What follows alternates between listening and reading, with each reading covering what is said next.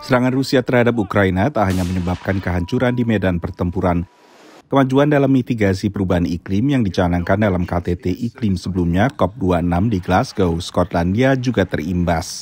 The development of coalitions and uh, joint large coalitions, but also bilateral initiatives such as US and China uh, uh, proposing a new program of work uh, to address climate change. And some of that goodwill has disappeared. Uh, it, and it's not just in terms of Russia. We see that, that, China has pulled out of that arrangement with the US as a result of Taiwan. So, it, uh, uh, across a number of areas, the, the geopolitics isn't so positive. Ahli perubahan iklim mengatakan jangan sampai perang Ukraina mengalihkan perhatian dunia dari krisis iklim saat ini. We need to be able to deal with multiple crises.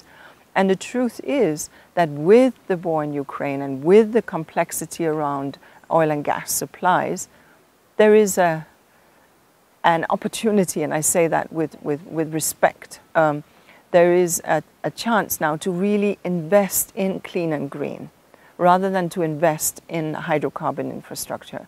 That's what the world needs to do right now. Konflik di Ukraina justru bisa menciptakan momentum mempercepat transisi ke energi terbarukan.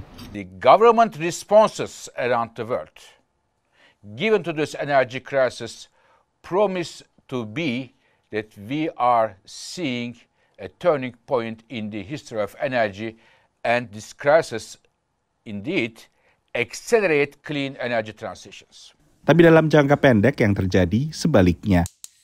Perang antara Rusia dengan Ukraina kembali menguatkan fokus pada ketergantungan negara-negara Uni Eropa terhadap impor bahan bakar fosil dari Rusia.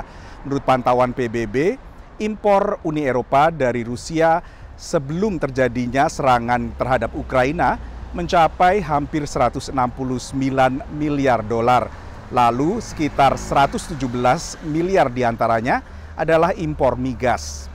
Banyak negara Eropa kembali ke pembangkit listrik tenaga batu bara merespons disrupsi pasokan gas alam dari Rusia. There is a short-term supply gap that will have to be met. But as long as there isn't huge investment in those fossil fuels, then maybe we just have to accept that. It is the sort of the medium to longer term trajectory that I hope we see an acceleration of decarbonisation as a result of the war in Ukraine.